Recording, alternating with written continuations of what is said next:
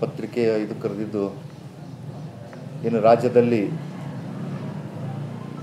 ಕಾಂಗ್ರೆಸ್ ಸರ್ಕಾರ ಬಂದ ಮ್ಯಾಗೆ ಜನಸಾಮಾನ್ಯರು ಹಾಗೂ ಎಲ್ಲ ವರ್ಗದವ್ರ ಮೇಲೆ ಹೊರೆ ಹಾಕುವಂಥ ಹಾಗೂ ಈ ಕಾಂಗ್ರೆಸ್ ಸರ್ಕಾರ ದಿನಬಳಕೆ ವಸ್ತುಗಳ ಮೇಲೆ ಹಾಗೂ ಮೊನ್ನೆ ಏನು ಡೀಸೆಲ್ ಮತ್ತು ಪೆಟ್ರೋಲ್ ಮೇಲೆ ಹೆಚ್ಚಳ ಮಾಡಿ ಏನು ಆದೇಶ ಮಾಡಿದೆ, ಅದರ ವಿರುದ್ಧವಾಗಿ ಇವತ್ತಿನ ಈ ಒಂದು ಪತ್ರಿಕೆ ಕರೆಯಲಾಗಿದೆ.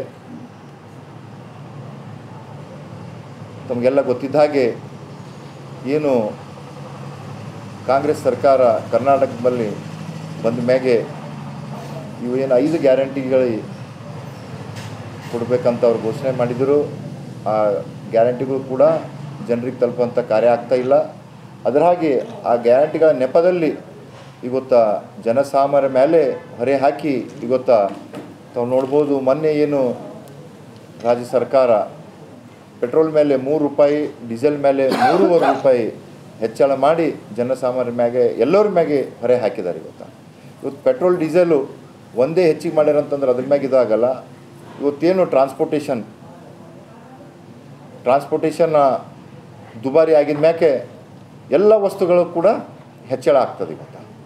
ಇವತ್ತು ಟ್ರಾನ್ಸ್ಪೋರ್ಟೇಷನ್ ಲಾರಿ ಮೇಲೆ ಡೀಸೆಲ್ ಬೇಕಾಗ್ತದ. ಆ ಲಾರಿದವ್ರು ಏನು ಮಾಡ್ತಾರೆ?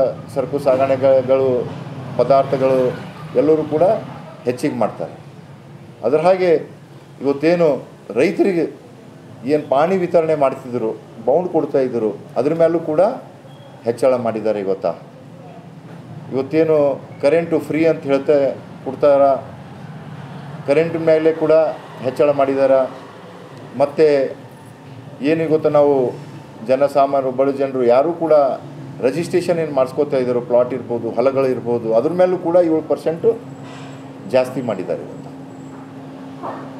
ಇವತ್ತು ನಾವು ನೋಡ್ಬೋದು ಲಿಕ್ಕರ್ ಮ್ಯಾಗೆ ಸರಾಯಿ ಮೇಲೆ ಕೂಡ ಭಾಳಷ್ಟು ಇಲ್ಲಿ ಏನಾಗ್ತಾ ಇದೆ, ಹೆಣ್ಮಕ್ಳಿಗೆ ಕೊಡೋದು ಗಣಸರ ಬಲ್ಲಿ ತೊಗೊಂಬೋದು ಈ ಒಂದು ಪದ್ಧತಿ ನಡೀತಾ ಇದೆ ಇವತ್ತು ಅದಕ್ಕಾಗಿ ಇವತ್ತು ನಮ್ಮ ಭಾರತೀಯ ಜನತಾ ಪಕ್ಷದಿಂದ ಇಡೀ ರಾಜ್ಯದಲ್ಲಿ ಈ ಒಂದು ಪ್ರತಿಭಟನೆ ಹಮ್ಮಿಕೊಂಡಿದ್ದೆವು ನಾಳೆನೂ ಕೂಡ ಪ್ರತಿಭಟನೆ ಮೆರವಣಿಗೆ ನಮ್ಮ ಭಾರತೀಯ ಜನತಾ ಪಕ್ಷದ ಮಂಡಲ ವತಿಯಿಂದ ಹಮ್ಮಿಕೊಂಡು ಏನು ಇವತ್ತು ಜನಸಾಮಾನ್ಯರಿಗಾಗಿ ನ್ಯಾಯ ಕೊಡಿಸುವಂಥ ಕಾರ್ಯ ಮಾಡ್ಕೋಬೇಕು. ಹಾಗೂ ಏನು ಈ ಕಾಂಗ್ರೆಸ್ ಸರ್ಕಾರ ಡೀಸೆಲ್ ಮತ್ತು ಪೆಟ್ರೋಲ್ ಬೆಲೆ ಹೆಚ್ಚಳ ಮಾಡಿದೆ, ಅದಕ್ಕೆ ಹಿಂದೆ ಪಡ್ಕೋಬೇಕಂತ ನಮ್ಮ ಭಾರತೀಯ ಜನತಾ ಪಕ್ಷದಿಂದ ಪ್ರತಿಭಟನೆ ಮಾಡ್ತಾ ಇದ್ದೆವು. ಹಾಗೂ ತಾವೆಲ್ಲ ಕಡೆ ನೋಡ್ಬೋದು ಏನು ಈ ಕಾಂಗ್ರೆಸ್ ಸರ್ಕಾರ ಬಂದಿನ ಮ್ಯಾಕೆ ಎಲ್ಲ ಇದ್ಮ್ಯಾಗೆ ತಾವು ನೋಡ್ಬೋದು ಇವತ್ತು ಹುಮ್ನಾಬಾದ್ನಲ್ಲೂ ಕೂಡ ನೋಡ್ರಿ ಗೊತ್ತಾ? ಏನು ಗೊತ್ತಾ?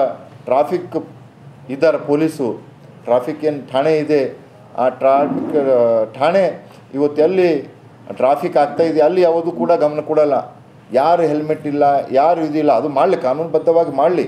ಆದರೆ ಇವತ್ತು ಅದನ್ನು ಕೂಡ ನೋಡಿ ಇವತ್ತು ಜನಸಾಮಾನ್ಯರಿಗೆ ತೊಂದರೆ ಕೊಡ್ತಾ ಇದ್ದಾರೆ? ಇವತ್ತು ರೈತರು ಹೊಲಕ್ಕೆ ಹೋಗಬೇಕು ಅಂತಂದ್ರೆ ಗಾಡಿ ತೊಗೊಂಡು ಹೋಗ್ಬೇಕಂತಂದ್ರೆ ಹಂಚ್ತಾ ಇದ್ದಾರೆ ಇವತ್ತು ಆ ಒಂದು ಪರಿಸ್ಥಿತಿ ಈ ಕಾಂಗ್ರೆಸ್ ಸರ್ಕಾರ ಬಂದಿದ ಮ್ಯಾಗ ಆಗ್ತಾ ಇದೆ.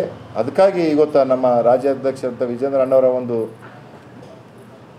ಮಾರ್ಗದರ್ಶನದಲ್ಲಿ ಮತ್ತು ಅವರ ಒಂದು ಇದರಲ್ಲಿಂದ ನಮಗೆ ಆದೇಶ ಬಂದಿದ್ದ ಸಲಕ್ಕಿಂದು ನಮ್ಮ ಹುಮ್ನಾಬಾದ್ನಲ್ಲಿ ಕೂಡ ಗೊತ್ತಿದ್ದು ಒಂದು ಪ್ರತಿಕ್ರಿಯೆ ಇದು ಕರೆದಿದ್ದು ಹಾಗೂ ನಾಳೆ ಇದು ಒಂದು ಬೃಹತ್ ಪ್ರತಿಭಟನೆ ಕೂಡ ಹಮ್ಮಿಕೊಂಡಿದೆ.